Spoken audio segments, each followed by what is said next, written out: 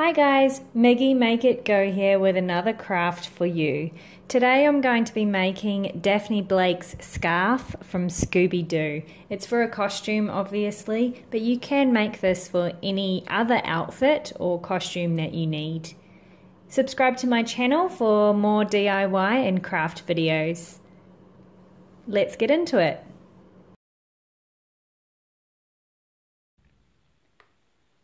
I've got a one meter by one meter piece of linen. Uh, it's actually for quilting, but it's the right color for what I needed to do. I've got some thread, a tape measure, and an iron.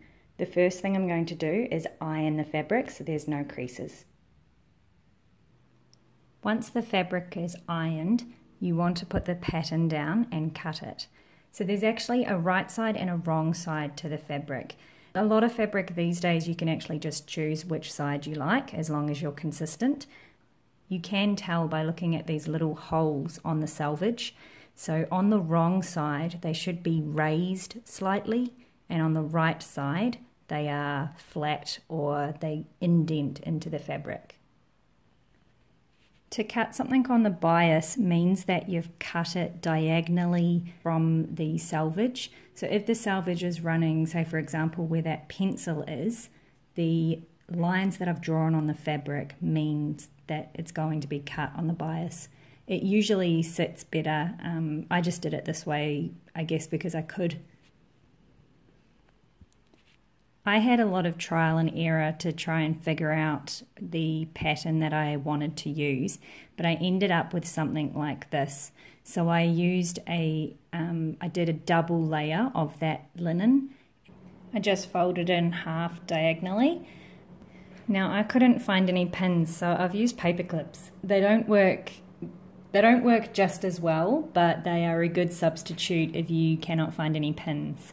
So the measurements are 54 inches long, that's tip to tip, end to end, 6 inches wide, and then the triangles at either end were 3 inches from the tip down to the perpendicular line as per my diagram.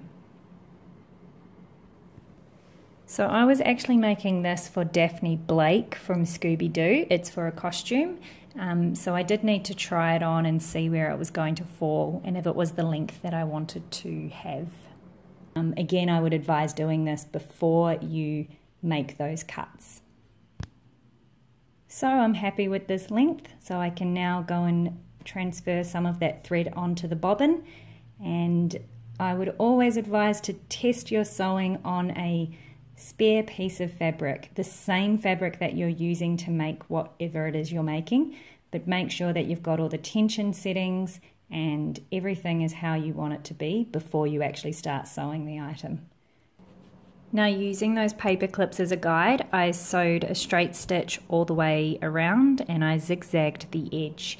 I did leave about a two or three inch gap in the middle of the scarf and I used that gap to then turn the whole scarf in the right way. Um, as you can see from this photo, there was a gap left over. I didn't make the same mistake that I have made previously, which was to super glue this closed. Um, I actually just chucked it back on the sewing machine and sewed it as close as I could to the edge of the fabric. Here is the final product.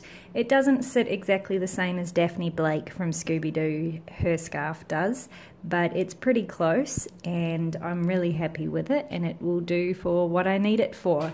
If you want to check out my other videos, please do so. Please subscribe to our channel. We make videos on crafting, home DIY, and just general advice videos. If there's anything you would like me to film, please let me know in the comments below. Have a great day.